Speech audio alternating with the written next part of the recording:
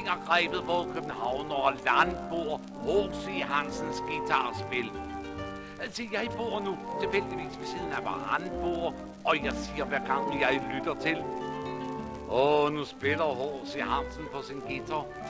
Igen. Det er så alle nerverne distrikter. Igen. Det er så selve husets katpunkt i maven, og der kommer som et muldvarpskud i haven. Jeg begge to, som der vender sig i graven igen. Og se, hvis man er forældre og navnlig til en datter, har man aldrig nogen rolig stue. Min egen datter Lisa har altid, at jeg aldrig fatter, og dertil et hjerte uden bu. Nu har Lise mødt den eneste ene ene. Igen. Hun var til at smykkes ud med mørke grene. Igen. Sidste gang hun var så drømmende og stille, vagte akkurat den samme vågte vilde. Og den endte med, at Lise fik den lille igen. Og så Køge er en by, hvor alle gør som loven byder, at de kan oven i købe.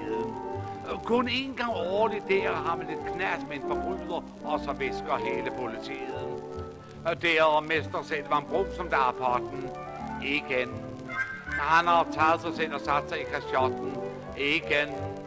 Sin samvittighed og manden været fin der, men hun synes, han har affæren er spændt fin der, og han aner ikke selv, at han bliver grin der igen. Lis Gruses ægteskab begyndte at overflå til randen, mere og mere som tiden skred.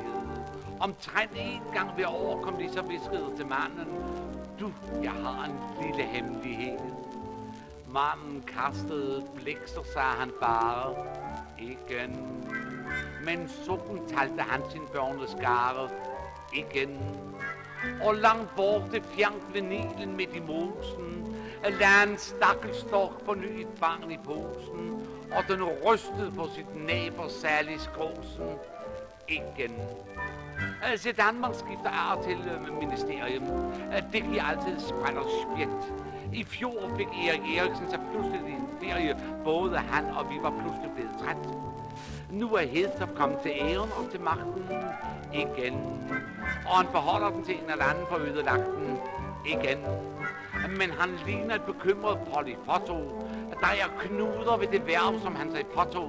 For hvad pokker skal han nu gøre med Jens Otto? Igen. thank you